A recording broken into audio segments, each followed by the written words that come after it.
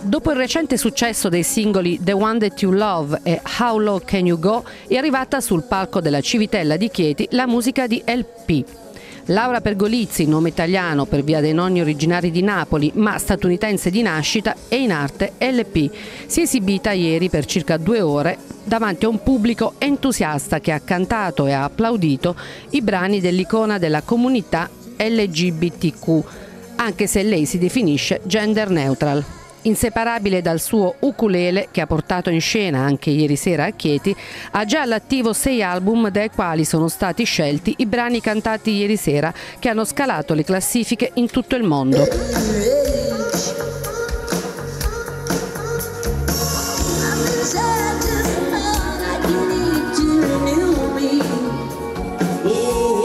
L'Arena della Civitella ha riaperto le porte alla musica di qualità, alcune date in luglio e poi ci saranno altre date in agosto. Intanto questa sera il concerto di LP dopo una serata dedicata alla comicità di Maurizio Battista.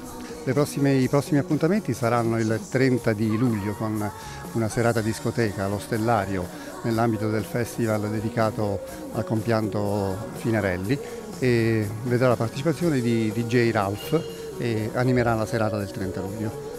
Dunque la Civitella torna a essere un punto di aggregazione per la città, ma non solo.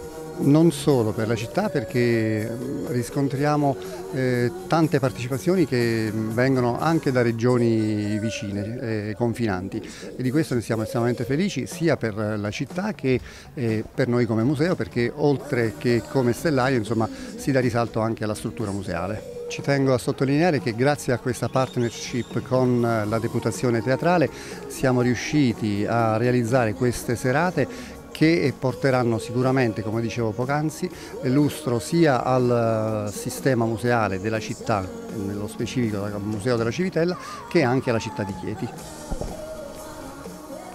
A causa della positività al Covid di Francesco De Gregori, che si sarebbe dovuto esibire stasera insieme ad Antonello Venditti, è stato rinviato al 10 agosto il concerto. Le modalità di rimborso per chi non potesse recuperare quella data saranno consultabili sui siti dei circuiti di vendita Ticket One e Ciao Ticket.